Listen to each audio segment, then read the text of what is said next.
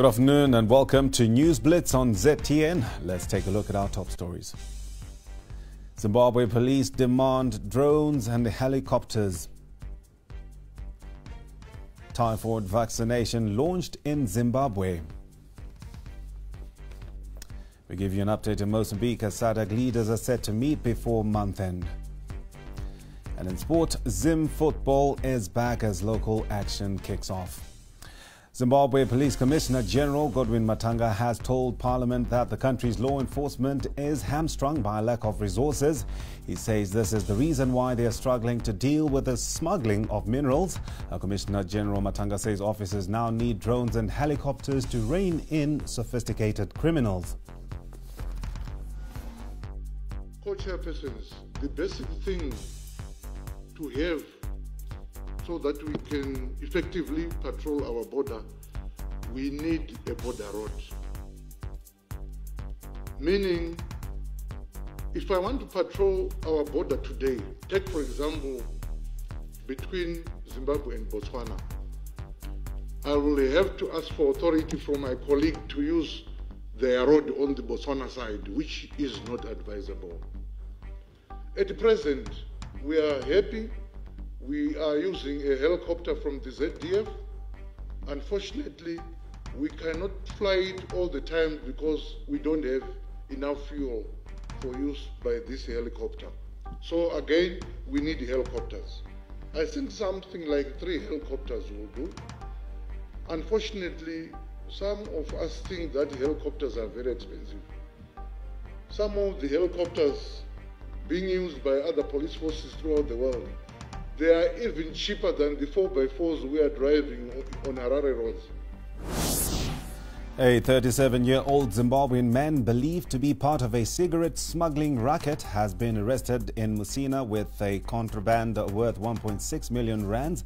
The man was also found in possession of a stolen vehicle which he was using to transport his loot.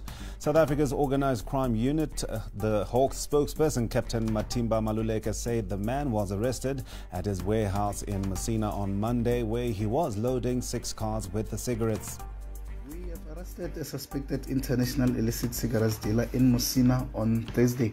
Our police team, comprising different SAPS components, received intelligence about the vehicles that were loading illicit cigarettes at a warehouse in Musina, and it was followed up. When the team arrived at the suspected illicit cigarettes warehouse, a trailer fully loaded with illicit cigarettes was found. Further investigations led to the discovery of other cigarettes that were hidden in six different vehicles. It was further established that one of the vehicles was reported stolen in Florida area in Gauteng province. The value of the recovered illicit cigarettes is um, 1.6 million rand. Six vehicles and a trailer to the value of 1.1 million rand were seized. The suspect was charged for possession of illicit cigarettes and suspected stolen vehicle. The search for other outstanding suspect is continuing. Still on our crime watch, a suspected suspect driving a truck with smuggled second-hand clothes abandoned his 30-ton vehicle and took to his heels after being cornered by police in Zimbabwe's Manicaland province. A team of police officers ambushed the driver at the Makuti turnoff along the Mutare Burma Valley Road. When the suspect, who is still at large, was signaled to stop at a security checkpoint, he allegedly failed to comply, resulting in police deflating truck tires after a high-speed chase. The suspect allegedly disembarked from the truck and fled the scene. Second-hand clothes with an estimated 4 million Zimbabwe dollars worth are suspected to have been smuggled from Mozambique through the Forbes border post. Manicaland Provincial Police spokesperson Inspector Lakson Chananda confirmed the incident to ZTN. A team of police officers led by Chief Inspector Piri of Support Unit laid in ambush at the Makuti turnoff along the Mutare Bema Valley Road. The lorry approached at around midnight and when signaled to stop, the driver did not comply. Police pursued it and deflated tires by firing shots at the wheels. The lorry was found abandoned a short distance from the ambush uh, position 154 bales of second-hand clothes and 67 bales of shoes were found. The bales were handed over to Zimra for seizure and are valued at 4,250,000 894 the accused persons are still at large. Let's move to health. As Zimbabweans have been urged to get vaccinated in the face of a COVID 19 third wave that is already ravaging other countries. Minister of Health and Childcare Dr. Constantino Chiwenga say the COVID 19 pandemic was far from over, hence the call for vaccination. The call comes as the country this week reported its first case of the Indian variant. We continue to urge our people to get vaccinated against COVID 19 at their earliest opportunity, especially as we see and hear reports of a third wave of the deadly pandemic in other countries. Even as we report fewer and fewer cases, we advise our people to continue practicing all recommended prevention behaviors as the COVID 19 pandemic is far from over. Zimbabwe has introduced the typhoid vaccine in its routine childhood immunization program. Typhoid fever is a foodborne disease contracted by ingestion of contaminated food and water. Launching the program this morning, Minister of Health and Childcare Dr. Constantino Chiwenga said this is set to reduce infant mortality. There have been sporadic typhoid outbreaks throughout Zimbabwe over the past several years. Zimbabwe becomes the second country in Africa to introduce the typhoid vaccine after Liberia. The vaccination campaign, which starts on 24 May, just next week on Monday, up to 4 June, will provide catch up typhoid conjugate vaccine vaccination for over 6 million children aged 9 months to below 15 years in line with recommendations from the global and local immunization experts. Thereafter, all children in Zimbabwe will begin to receive typhoid conjugate vaccine through routine immunization at nine months of age. Mashonaland Central will also embark on an integrated vaccination program for three vaccines, which are the human papilloma virus, inactivated polio vaccine, and typhoid, starting next Monday. Health Promotion Officer Takura Mzorodzi speaks. Fortunately, uh, Zimbabwe was part of other countries which were affected because there was a global shortage of IPV. So now that we have the vaccine, we are targeting that age group or that range cohort that we missed back in 2016. Uh, so these are children who were born on the 23rd of January, year 2016 to 24 December 2018. Now, meditation is increasingly being touted as one of the methods which help individuals cope with some symptoms associated with mental disorders. Recent studies suggest that meditation can help deal with depression and anxiety, as well as improve some cognitive and behavioral functions. A volunteer based humanitarian organization, The Art of Living Zimbabwe, has embarked on a campaign to encourage people to take up regular meditation. Our correspondent Milton Sasa spoke to Diolene Kamunu, a volunteer at the foundation who posits that uh, mental illness could be the next pandemic to hit the globe after COVID 19. The Art of Living Foundation is hosting, has hosted for the past eight years um, a campaign called I Meditate Africa, which is there to promote inner peace by using techniques of meditation, mindfulness, and quiet time for the last uh, couple of years, meditation has become increasingly popular because it has been scientifically proven to um, reduce stress, to help people manage stress, and to also reduce anxiety and depression. And I've also read that the next pandemic after the COVID pandemic is um, mental health is one of the most important uh, things that the world needs to tackle now. Later today, the foundation will host a virtual mental health campaign dubbed I Meditate Africa 2021. The campaign runs under the theme A Strong Mind Building a Resilient Africa in celebration of Africa Day. Popular Star FM radio personality V Candy will be joined by several other prominent personalities, amongst them Miss Red and Titan, on a virtual mental health roundtable. V Candy speaks on the event. It will be myself uh, as the host, uh, V Candy, and I'll be joined by other personalities. We have Titan, who has been open about mental health. I also have Miss Reed, who has a book uh, where she also touches on mental health. And uh, we have Rozalla Miller, um, our great artist from way back, who is still relevant, I think. So, um, mainly, um, the point of discussion will be uh, around mental health, wellness, mindfulness, and um, you know how to just take control of your mind and find inner peace and find inner joy and not let you know what's happening outside affect you because peace begins from within. It's an inside job Zimbabwe's procurement agent for pharmaceutical products, the national pharmaceutical company Natpharm, has partnered a local university to revive its production units for pharmaceutical products. This comes at a time when Cabinet has approved the pharmaceutical manufacturing strategy, which seeks to boost local production of essential pharmaceutical products. Natpharm acting managing director Evan Lumba told ZTN that the partnership will see the local university providing technology and production formulae. Dumba said production is expected to start in July this year with the aim to supply public health institutions before expanding to the private sector. We are working currently with one of the state universities to set up a production unit at um, Harare.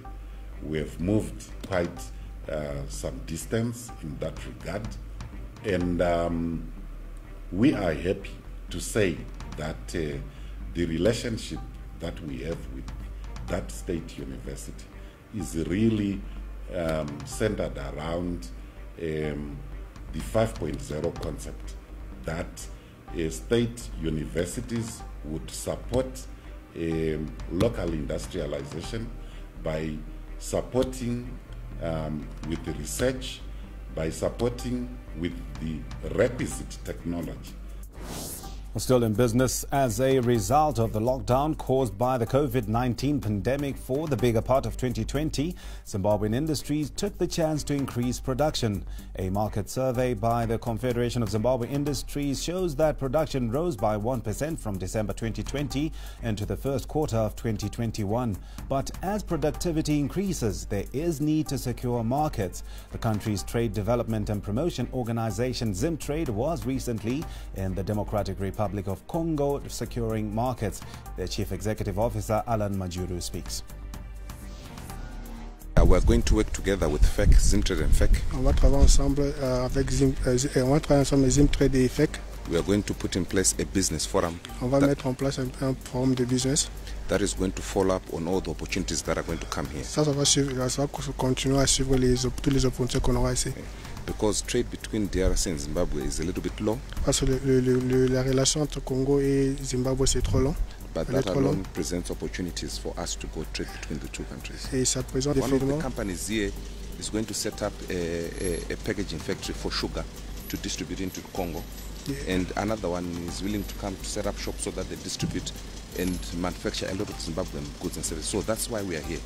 We've seen that for us to make meaningful progress in the RC, we have to have market presence. So all of them want to set up shop here in Lubumbashi and Kinshasa. Shift focus to the stock's incremental export incentives announced by government will encourage listing of exporters on the Victoria Falls Stock Exchange. This is according to the boss's chief executive officer Justin Bgoni. Last week, Finance and Economic Development Minister Ncube revealed through a press statement that incentives are expected to encourage listing and participation of firms on the VFX. Our business correspondent Andy Hodges is with the Stock Exchange's chief executive uh, Justin uh, Bgoni. Uh, good afternoon, Andy. Thank you, Blessing. Justin Mungoni, Chief Executive Officer of Zimbabwe Stock Exchange. Welcome to ZTN News Blitz. Thank you. Thank you. Uh, Zimbabwe's made history, if I can call it that. We now have two stock exchanges. We have the Zimbabwe Stock Exchange and, of course, the Vic Falls Stock Exchange. So my question is, how important is the Vic Falls Stock Exchange, not just to the financial services industry, but okay. also to Zimbabwe's economy? So one of the challenges that we have uh, in Zimbabwe and as well as on the Zimbabwe Stock Exchange is to attract uh, foreign direct investment.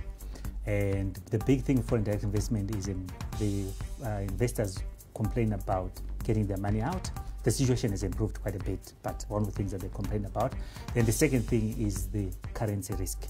So what the Victoria Falls Exchange does is because it's denominated in hard currency, all that risk goes away. Thank you very much indeed. Okay. So the point is this, Victoria Falls Stock Exchange is there for all of us to invest in and also to raise capital in. Make sure you make it one of your stops. Back to you in the studio, Blessing. Interesting bittersweet news today. Yesterday was World Bee Day, and apart from just honey, there is a lot to love about bees. They're crucial to growing many of our favorite, healthiest foods as they move pollen from one plant to the next and pollinating more than 100 fruits and vegetables, including strawberries, potatoes, and apples. In honor of World Bee Day, oh, here we are. Uh, here are a few interesting facts that you might not know about nature's hardest working pollinators. Bees like to waggle dance. Bees can communicate and make decisions by dancing, and bees can use tools to ward off attacks. Bees have also been observed to collect fresh animal feces and smearing them around the entrance of their hive. Into regional news, as SADC regional leaders will meet Mozambique's President Filipe Nyusi before the end of May to tackle Islamist insurgency in that country. Military experts of the Southern African Development Community last month drafted a plan for a SADC force of nearly 3,000 troops to dislodge the insurgency. The presidents of SADC's security organ Troika, comprising Botswana, South Africa, and Zimbabwe, were scheduled to meet President Nyusi at a summit in Maputo on the 29th of April before the summit summit was eventually postponed. A ceasefire between Israel and Hamas has come into effect. The ceasefire began early today, bringing to an end 11 days of conflict in which more than 240 people have died. Fighting began on the 10th of May after weeks of rising uh, between Israel and Palestinian tension. Local sports news makes a comeback. That's coming up next in sports.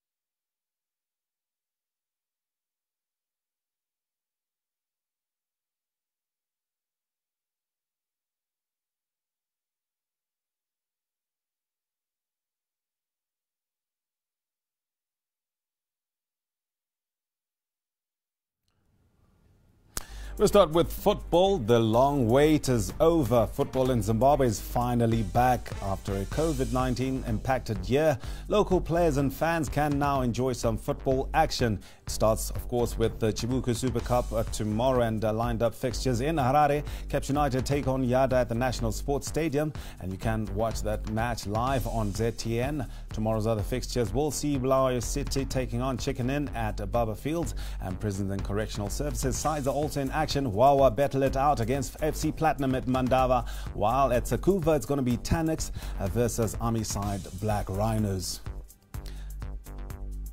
Still with football, Premier Soccer League debutants Cranborne Bullets got a kit sponsorship boost ahead of the Chibuku Super Cup. The Army team could be donning new kit when they take on Manica Diamonds in the Chibuku Super Cup at Sakubva Stadium on Sunday. Speaking on the sidelines of the handover ceremony by local firm in Harare yesterday, Zimbabwe National Army Brigadier General Training Ephias Mahachi said he expects top performances from all Army teams. Our teams represent a national organization and um, they have the facilities to train. So they have no reason not to become the best teams. They are full-time professionals. They come from their homes to come and practice. So we try to support them in everything to make sure that they have all what they need to become good teams or the best teams. Cranborne Bullets partners FMC are dreaming big. We have been supporting them for quite some time now, ever since they were still in Division 2, and uh, now and they were then promoted to Division 1, and now they're in the Premier League. Uh, the donation that we have done today is worth 4,000 US dollars, and this relationship is going to be continuing for the coming years. On to cricket. Zimbabwe cricket all-rounder Sikandar Raza has begun rehabilitation after undergoing surgery on his arm early this month. It's two weeks since Raza went under the knife for an infection on his right arm. Today, the 34-year-old tweeted that he has started rehab and his body is responding well to medication. That does it for News Blitz uh, this afternoon. The story of the weekend, local action for football is back, and uh, don't miss that. It's coming up live on uh, ZTN and also PSL pages. Uh, do connect with us on our Twitter page. That's at ZTN News on Instagram at ZTN, and do visit our website ztn.co.zw to get in touch with more of our programming. Good afternoon and have a lovely weekend.